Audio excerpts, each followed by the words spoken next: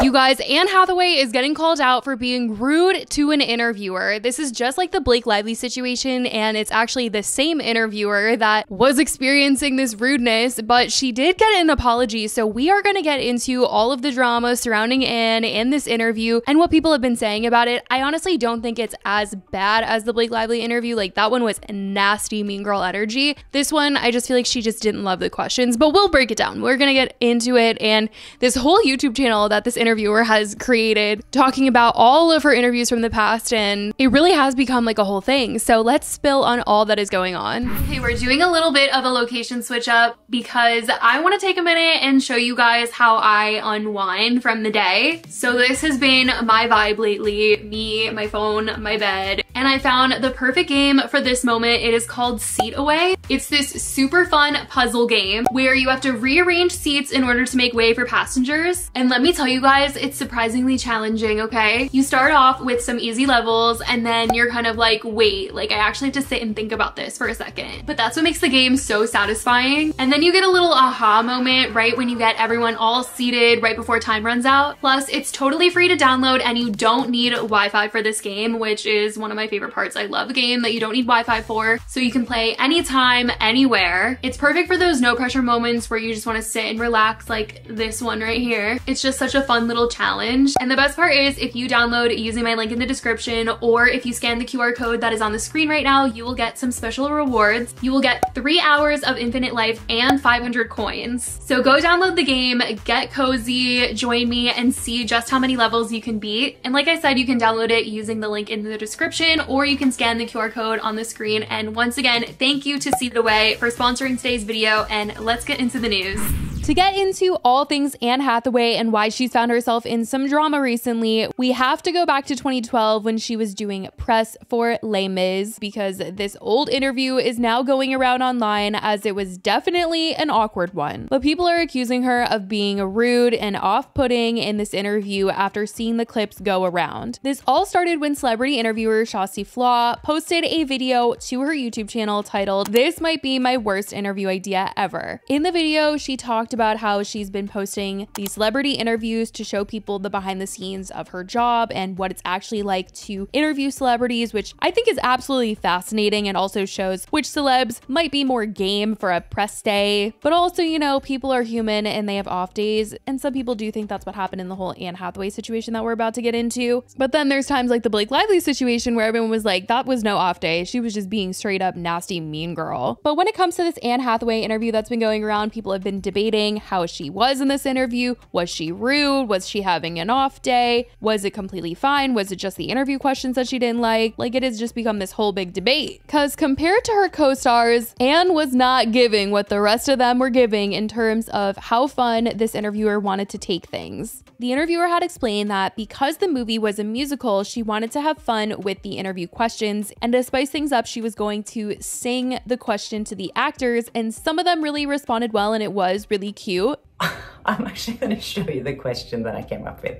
Just watch this. So, were there any awkward moments on set like this? Because you had to, because you had to sing and not talk. Okay, so that was what I was going for. And I thought, I hope the actors are going to be on board with this. Because you had to sing and not talk. I love that you ask me a question and you stay all on one note, like we're in church. it's very good. There were not many awkward moments like this. We rehearsed for many weeks. There were hundreds. are we going to stay on the one note or are we going to graduate to another note? you could sing just the way you want to. I forgot that I was singing and I'm going to do an English accent because that's what I was trained to do. Um, it was just like second nature. But when it came to Anne, she was not as game, and it's what everyone is talking about right now. So I was going to ask you to do the first question in singing. Can I sing it to you and you can sing back the answer? Well, I won't be doing that, but you're more than welcome to sing. Kjersti Flaa from TV2 Norway. And I was sitting there like, okay, this is not going the way I hoped for. Uh, but then I thought, heck, I am going to do it anyways. And you have speed. Okay, I will try. So were there any awkward moments like this on the set because you had to sing and not talk? Yeah, so Anne Hathaway was not very excited to be singing to me, and that interview just went completely downhill after that. She was just being like so um, dismissive of me. Do you feel that love was more passionate back then, or people would sacrifice more for love than we do today? No. No. No. Do you remember your first crush? Um, no. You don't. Okay. Thank you very much. Thank you very much. Thank you. It was nice meeting you. I will say the clip going viral on TikTok right now of Anne in this interview is one where you do not hear her giggle in reaction to the interviewer singing the question. So it does look way harsher. So I was gonna ask you to do the first question in singing. Can I sing it to you and you can sing back the answer? Well, I won't be doing that, but you're more than welcome to sing. Kjersti Flaa. Do you feel that love was more passionate back then, or people would sacrifice more for love than we do today? No. No. No. Do you remember your first crush? Um, no. You don't. Okay. Thank you very much. Thank you very much. Thank you. It was nice meeting you. I do think that including her little giggle while the interviewer was singing the question was her being nice and the rest of it was just it was just not the best interview. You know, she was giving short answers and it seemed like she just wanted to get it over with and be done with the press day. I will say I would have loved to see the full interview of like all the questions that she answered without it being like edited down and I did see a lot of people asking for it in the comments because they felt that maybe it wasn't so bad. Just like those parts in particular seemed awkward. But some of those, especially those that saw this going around on TikTok, were ripping Anne Hathaway apart, saying that she was just being very dismissive and she could have just been giving a little bit more in this interview. And for those who think the interview might not be that bad and that, you know, Anne wasn't that rude. Well, it seems that other people in the industry were viewing it as such because when the interviewer posted this online originally back then, she was asked to take it down. Otherwise, she might have been blacklisted. She hated me, let's face it. She really hated me. And she didn't like that idea at all either. Uh, that was pretty obvious. I did actually post that interview on my YouTube channel, and someone, a representative from the studio, told me to take it down. He was like, you know, if you if people are gonna see that, you might be blacklisted. And I was like, okay. Basically because she wasn't very nice. Uh, which I've talked about before, when the celebrities are not nice, it's always the journalist's fault. I have to admit, maybe it was too much to ask her to sing back, but she could have been nice for the rest of the interview. It's just like I was just sitting there trying to make it a little more fun for everyone, and she wasn't having it. So clearly, if she's hearing that there's a potential for her being blacklisted for leaving this up, that definitely means that people knew that this was not a good look for Anne to have this on the internet. And she did talk about how she ended up meeting Anne again and that she was much nicer and mentioned how Anne seemed to change after this thing called Hatha Hate, which, if you guys do not know, this was a time period a long time ago, around 2010, when Anne was really hated by the public. People had accused her of being rude and a mean girl, but most say that back then it really just boiled down to her being really overexposed and people just grew tired of seeing her so much. And so she was getting a lot of hate at the time. And this hate at the time did cost her a lot. She told Vanity Fair in an interview earlier this year when talking about this time period, saying a lot of people wouldn't give me roles because they were so concerned about how toxic my identity had become online, Hathaway said, without specifying which roles she was overlooked for. But in this YouTube video where Kjersti is talking about Anne Hathaway and what it was like meeting her after and her being nicer, she seemed to think that she had kind of switched things up for herself